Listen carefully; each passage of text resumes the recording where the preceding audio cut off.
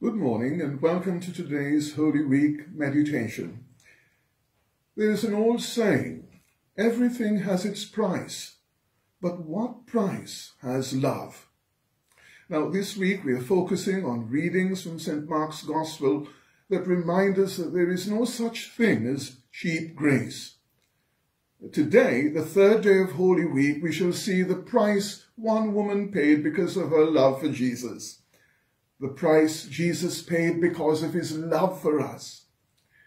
What price are we willing to pay as disciples, followers of Jesus? Let's just quieten our hearts and minds to worship God. Be still for the presence of the Lord the Holy One is here.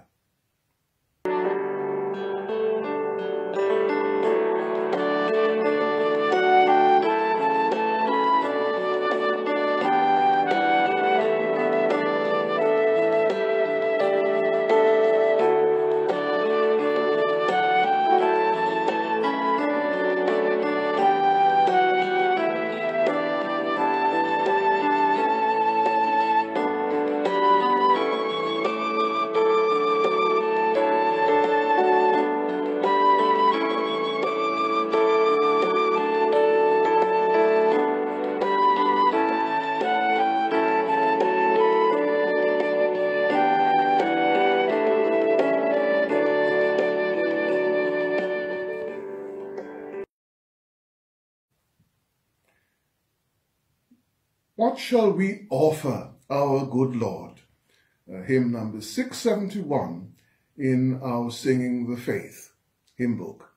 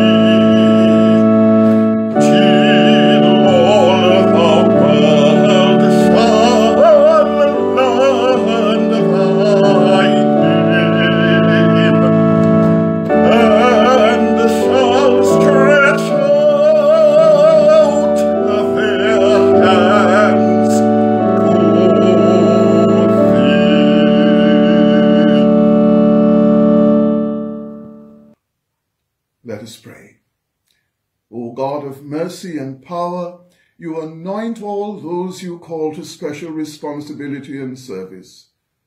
Anoint us with your Spirit, Lord, so that we may be true to our calling. You anointed prophets and priests and kings to be leaders among your people and to uphold truth and justice.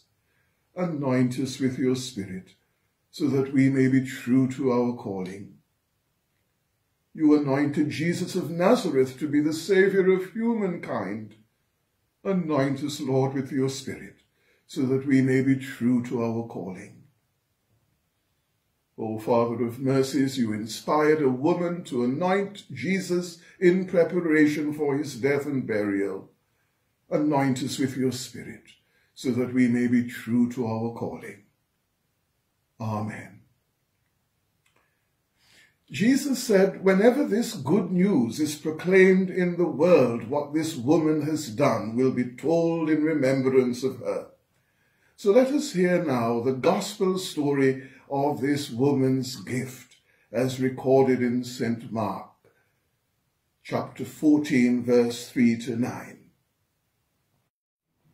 While he was at Bethany, in the house of Simon the leper, as he sat at the table, a woman came with an alabaster jar of very costly ointment of nard. And she broke open the jar and poured the ointment on his head. But some were there who said to one another in anger, Why was that ointment wasted in this way? For this ointment could have been sold for more than three hundred denarii, and the money given to the poor. And they scolded her. But Jesus said, Let her alone. Why do you trouble her? She has performed a good service for me for you always have the poor with you, and you can show kindness to them whenever you wish. But you will not always have me. She has done what she could. She has anointed my body beforehand for its burial. Truly, I tell you, wherever the good news is proclaimed in the whole world, what she has done will be told in remembrance of her. As Christians, we believe that Jesus is fully God and fully human. And Holy Week gives us many glimpses into his humanity as he journeys towards his passion and death. It demands also that we accept that he is in need of human love and warmth and affection. And in our gospel reading today, there is a brief pause before those who had power would conspire against Jesus and within a week would bring him to his death. But before that happens, as you can see, Jesus shares the warmth and companionship of his friends. Now, in this story, there are many emotions. There is a great deal happening, of course. Now, have you ever been at someone's house for a dinner or a party and there is noise and laughter and, and business and then someone says something or does something quite out of character or even inappropriate, which wipe the smile off everyone's face and stops all the conversation. Where you can imagine the bustle and the noise of this dinner at Bethany. Jesus is there and his disciples are also with him. Then suddenly, in the midst of it all, Mary brings in this precious ointment, pure nard, very costly, and anoints his feet with her hair.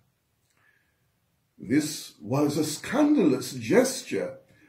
Uh, suddenly, in this scene, we are brought powerfully to recognize the humanity of Jesus it is so easy for us to minimize this story and imagine a ritual anointing rather like we do in church.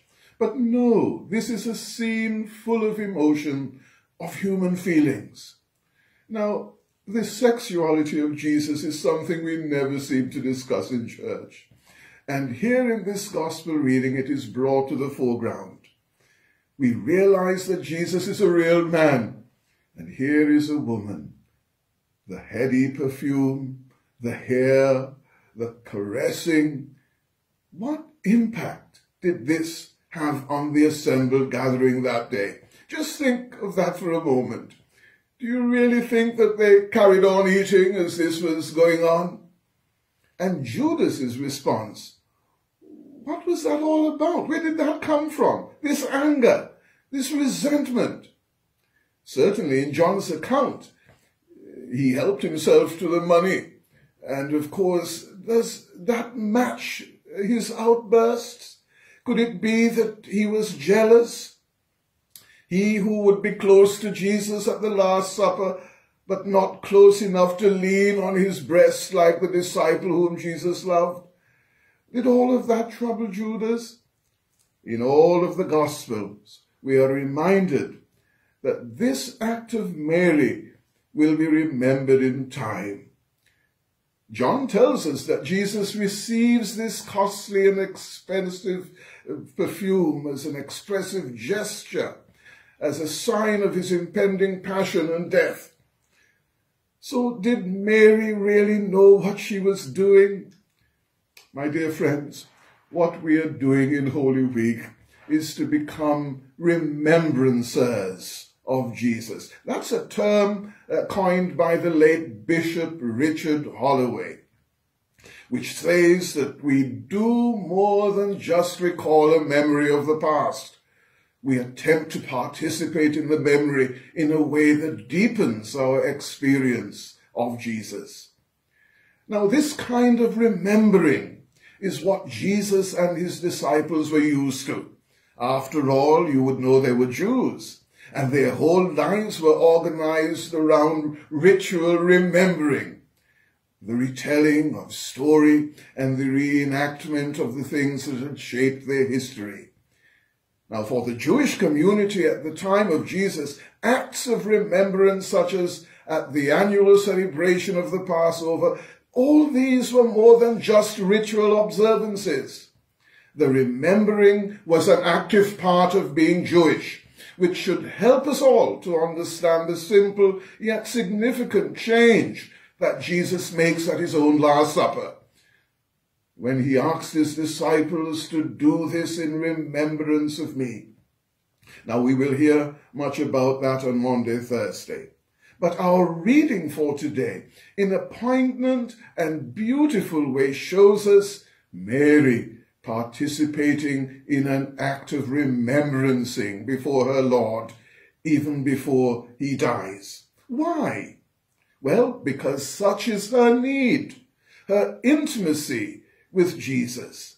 And as she touches him in this most intimate of gestures, the Creator and Redeemer sees her need for redemption and receives her gesture of pure love.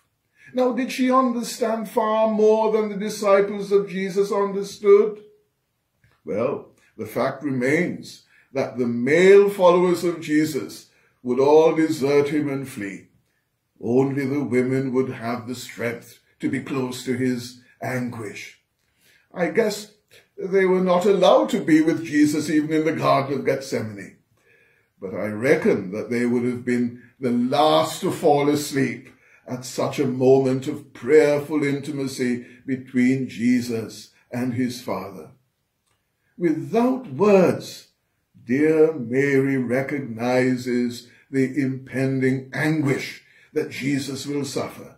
She who had only a few days grieved at the loss of her dear brother Lazarus now turns that grief towards the one who raised Lazarus from the dead and regardless of what people will think of her, she puts into practice her resolve to be a remembrancer of Jesus.